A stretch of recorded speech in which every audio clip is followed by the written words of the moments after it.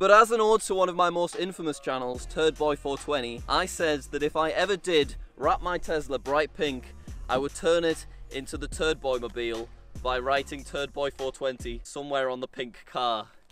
So I've got me Sharpie. Never done this before. Well, look at the sun coming out for this glorious magical moment. Okay, well, we've got a T there already. So, Erd Boy 420. Oh my god. I can't believe I've just drawn on a Tesla with a Sharpie. Okay. Why is it so sunny? Turd Boy Mobile! Yes!